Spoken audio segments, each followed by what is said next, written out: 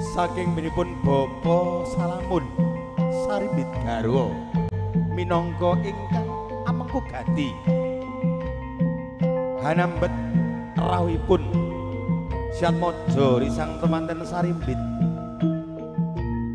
Nuninjih kadang pisan. Keluarga ageng Bapak Aris Ashadi Sarimbit Garwa ingkang mijil saking tlatah.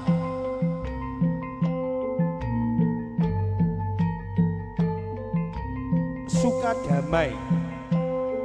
Rimbo Ulu.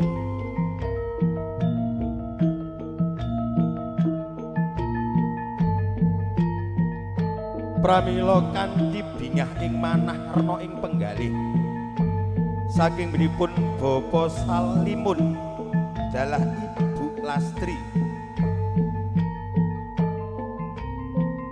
Ngaturaken sugeng rawuh. Dumateng Atmaja pinanganten Sarimbit dalah pengombyongipun.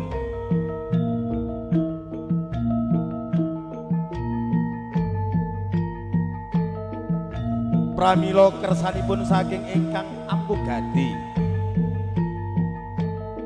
Bapa salipun dalah warga ageng.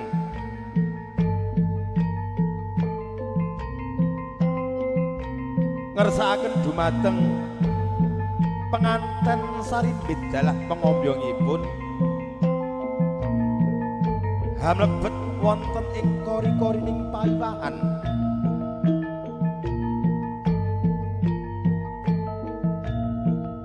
saking menipun Bapak Aris Azadi dalah keluarga pun atur salam taklim. Ngaturaken Assalamualaikum warahmatullahi wabarakatuh. Pramila saking menipun Bapak Salimun dalah Ibu Lastri Ugi ngaturaken Waalaikumsalam warahmatullahi wabarakatuh.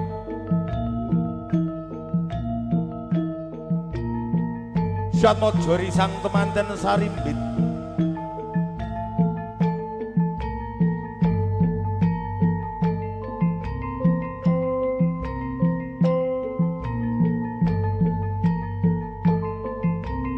Kapit dumateng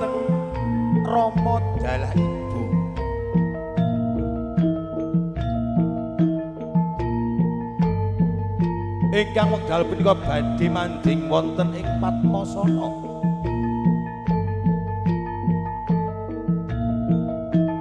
Ananging saderengipun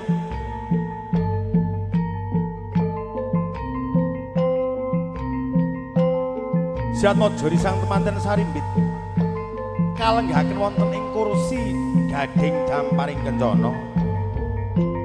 Syatmaja tangkep asta sungkem ring Rama dalah ibu.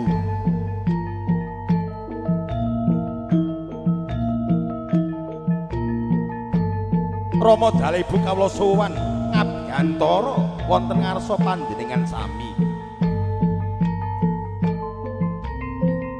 Mugi pikantuk berkah sorestu saking Rama dalah ibu. Dongger anakku tak tampa sliramu sak kloron kanthi bungah ing manah.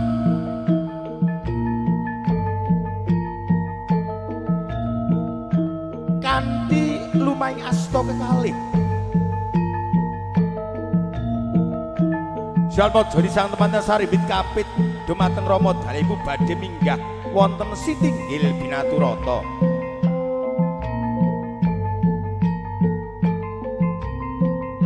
sawetawis nyuwun idi pangestu saking Rama dalah ibu mbok bilih. Atmaja risang pangantasari binun injih Muhammad Nuruddin Eskep dalah Anirayu SPD nyuwun idi pangestu badhe nglenggahi kursi damparing pawestri. Sasampunipun Atmaja risang temanten saribit kalenggahaken wonten kursi damparing kencana. Kepareng dumateng Bapa Salimun dalah Ibu Lastri anglenggahi kursi gading damparing kencana ugi kasuwun dumateng Bapak Aris Asadi dalah Ibu Sri Murni anglenggahi kursi damparing kencana sumangga.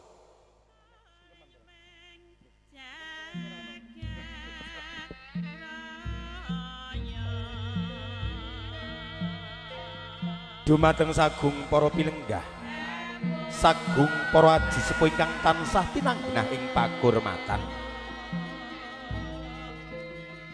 Sak sampunipun Sirat Maja risang manten sarembit kalenggaken wonten kursi gading damparing kencana. Kanthi palilah berkah pangestu saking Rama Dalaibu.